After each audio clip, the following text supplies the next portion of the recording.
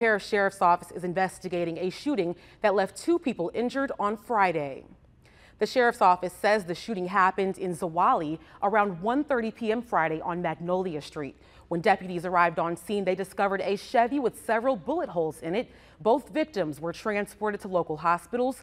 One victim sustained serious critical injuries, while the other victim had non-life-threatening injuries. Tonight, the shooting remains under investigation.